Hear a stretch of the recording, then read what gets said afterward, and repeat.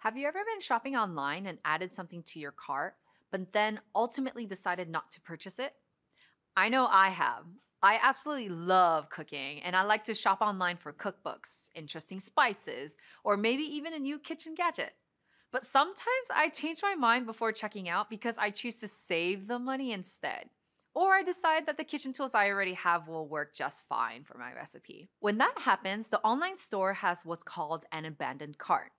And according to e commerce platform Shopify, online merchants lose $18 billion a year in sales revenue because of cart abandonment. This is a big problem, but it's one that business intelligence professionals are very skilled at solving. In this video, we'll consider exactly how that works. BI professionals can use data to identify where a customer came from, whether a Google search, an email link, or maybe a social media post. Then they can visualize the journey the shopper took when visiting the website. They're even able to pinpoint exactly where that customer dropped off and try to figure out why. For example, a BI professional might create a tool to monitor how quickly the website checkout page is loading. If the team decides that it's taking too long, the company can dedicate resources to improve website speed and hopefully keep that customer in the future. The measure of a website page loading speed is an example of a metric. A metric is a single quantifiable data point that is used to evaluate performance. In BI, some of the most important metrics are KPIs, which you've learned are quantifiable values closely linked to business strategy that tracks progress towards a goal. Many people confuse KPIs and metrics, but they are different things. The basic point to keep in mind is that metrics support KPIs, and in turn, KPIs support overall business objectives.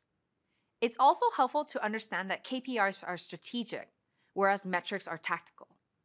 Going back to our abandoned cart example, strong KPIs might be the average value of each online transaction, customer retention, or year over year sales.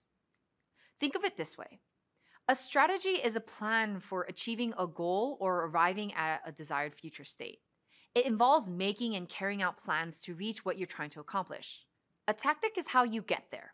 It's a method used to enable an accomplishment, including actions, events, and activities. Tactics take place along the way as part of your strategy to reach your final objective, like stepping stones between each milestone. Reach enough milestones and you'll reach your goal. Understanding business objectives and what is needed in order to achieve them is the first step in BI monitoring. BI monitoring involves building and using hardware and software tools to easily and rapidly analyze data and enable stakeholders to make impactful business decisions. So, let's say our e commerce merchant sets a goal to decrease cart abandonment by 15% in six months. The BI professional would create a tool that monitors web page loading speeds in order to help achieve that KPI. Rapid monitoring means that the people using BI tools are receiving live or close to live data. In this way, key decision makers know right away if there's a steep rise in the number of abandoned carts, or if they run out of inventory on a popular product, or if customer service representatives are receiving an unusually high volume of calls. Knowing right away means that the company can fix whatever the problem may be as quickly as possible. And this is one of the main ways in which BI professionals add real value to their organizations.